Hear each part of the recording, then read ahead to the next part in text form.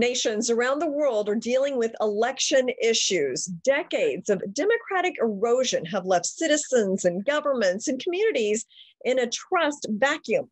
Now, technology may be able to play a role in bringing back confidence in our democratic systems once again. So, with me is mm-hmm. Joy Mondal, the founder and CEO of MiVote, who has a blockchain solution for voting, which um, was really exciting. Joydeep, I, I, was looking through your white paper and I thought, mm-hmm this is a great time for a company like this. So, can you give me an overview mm-hmm. of MiVote? Of course. Thank you for asking the question to me. And um, it's good afternoon for my uh, from my place. So, MiVote has been described in the three pillars in the governance model. So, I would like to describe in three ways. Firstly, MiVote is a driver of a digital democracy through a secure electoral process that the finest one the world can have at the moment. Secondly, MiVote developed a governing model for the government, CSOs, corporates, and the communities. And lastly, for 10 years, my co-founders and I is working for social engineering, how the human interact. It is about the community engagement and the community interaction through a collective decision making process and also a collective intelligence for the future of parliaments and assembly around the globe. Okay, very interesting. And when I was reading through your paper, there was something that really mm-hmm. kind of rung true with me, and that was that people just can't be put into boxes. Like just mm-hmm. because you you vote Democrat or Republican or you know different parties around the world doesn't mean that you automatically fall in line on everything. Mm-hmm. So is that when you mention the human and the community is that kind of address that issue that people are complex? Yes. So you know that we as a human civilization is evolving days in and days out. So this so our community interaction and community engagement is much complex. So the lawmakers nowadays really facing a problem how to address every issues.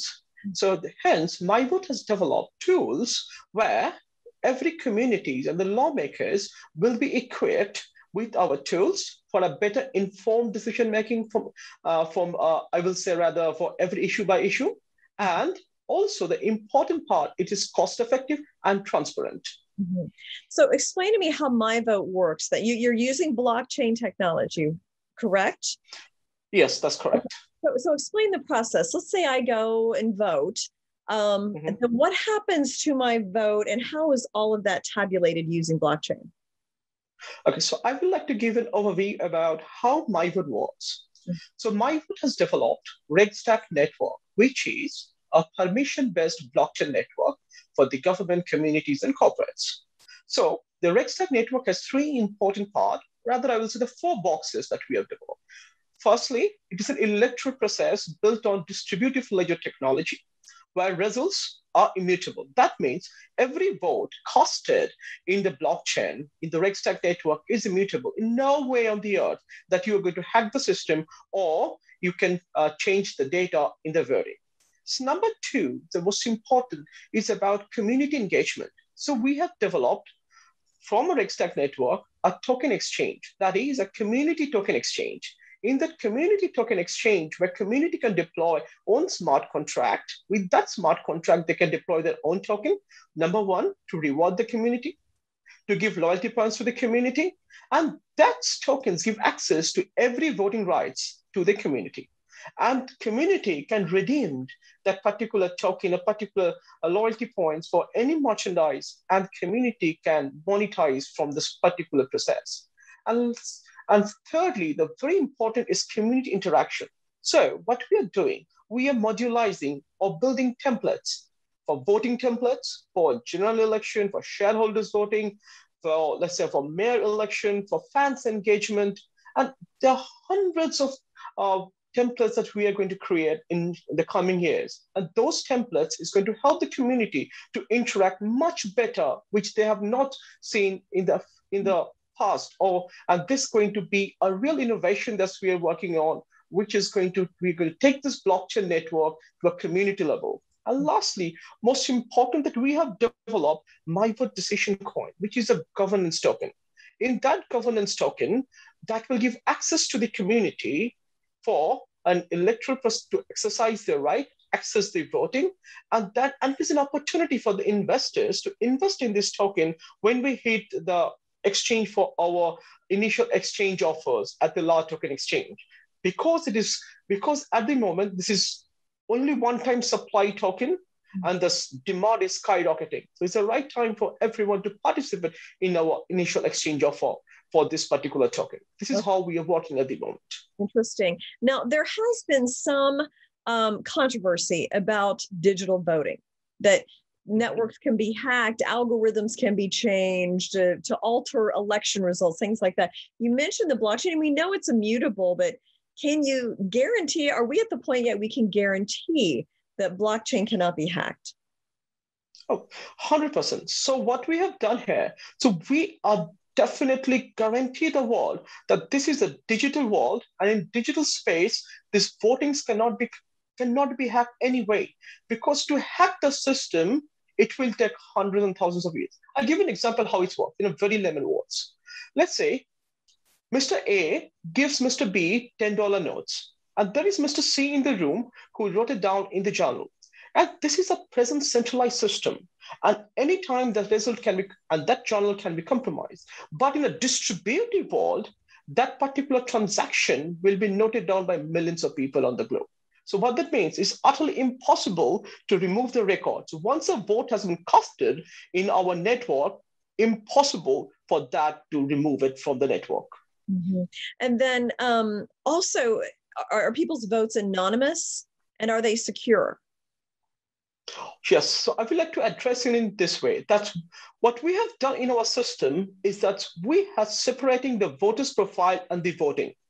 This is a very important step that we have done for anonymity of this entire system. So with the help of hashing, we can do this process. So the hashing confirms that everything in the network is anonymous. So the voter's profile doesn't get compromised.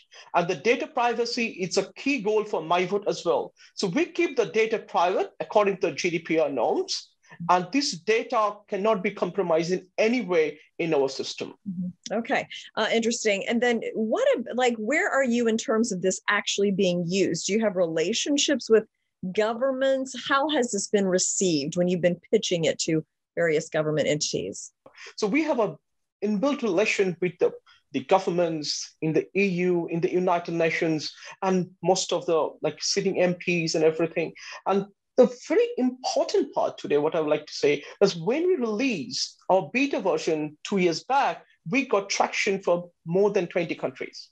And now, when you're releasing this, this final version, we already signed up with lots of sitting MPs in four continents to for our pilot project. You know, you and I are, are thinking alike when it comes to democracy. What's your dream for democracy in future generations?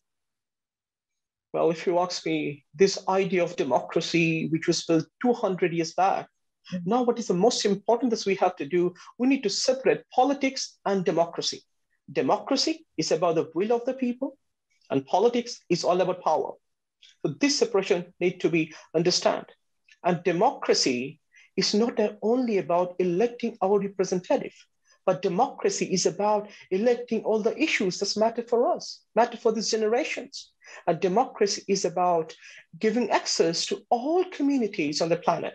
I'll give you for an example, few hundreds of movements going on around this world. It's maybe an Arab Spring or a farmers' protest in India, or you can see a Yellow Vest movement in, uh, uh, in Europe. These are the non-partisan movement and they need to give access to this voice in the community. And this community voice should be represented. And our representatives should be accountable for it.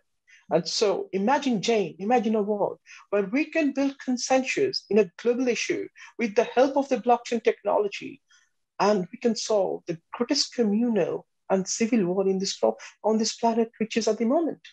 Wow, um, that would be awesome, and um, I, I, wish you the best of luck because I thank you. I, I think this could possibly, um, you know, put us into a whole new world in terms of democracy and giving people a voice that haven't had it in the past.